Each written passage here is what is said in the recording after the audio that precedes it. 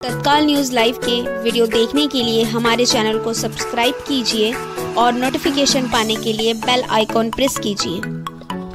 नमस्कार, मैं हूँ सोनिका और आप देख रहे हो तत्काल न्यूज़ लाइव। संगम नगरी प्रयाग नगर ज़िले के नवाबगंज थाना क्षेत्र में शुक्रवार सुबह डबल मर्डर से आसपास के इलाकों में सनसनी फैल गई। माँ और बेटी की अज्ञात बदमाशों ने निर्मम हत्या कर दी। माँ और बेटी के सिर और गले में गंभीर चोटों के निशान हैं। जानकारी के मुताबिक घर का सामान भी बिखरा हुआ था। पुलिस का कहना है कि प्रथम दृष्टया मामला लूट और हत्या का लग रहा है। प्रयागराज में डबल मर्डर की घटना से इलाके में हड़कंप मचा हुआ है। वहीं एक वर्ष की मासूम बच्ची को हत्यारों ने सही सलामत छोड़ दिया। आइए देखते हैं पूरी खबर क्या है। हत्याकांड की जानकारी मिलने पर मौके पर पहुँची पुलिस। मामले की जाँच पड़ताल कर रही है। अभी तक हत्यारों के बारे में कोई सुराग नहीं मिला है। पुलिस की माने तो दोनों के सिर और गले पर धारदार हथियार से हमला किया गया। बता दें कि जगदीशपुर मसनी गाँव, नवाबगंज थाना क्षेत्र में आता है। गाँव के गोड़वा बस्ती में गुरुवार रात धारदार हथियार से गला काटकर दोनों की हत्या कर दी गई। मृतक सदतीस वर्षीय अंजलि सरोज व उसकी आठ वर्षीय पुत्री संजीवनी सरोज के गले और सिर पर गंभीर चोट के निशान मिले हैं।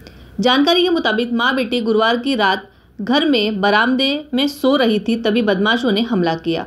दोहरे हत्याकांड से इस, कि इस सनसनीखेज वारदात को किसने और कैसे अंजाम दिया ये अभी तक नहीं पता चला है। सुबह घटना की जानकारी मिलने पर पुलिस के कई आला अफसर, फिंगरप्रिंट्स, फॉरेंसिक एक्सपर्ट और डॉग स्क्वाड्स के साथ मौके पर पहुँचे। हालाँकि अभी तक कातिलों के बारे में कोई सुराग नहीं मिला है।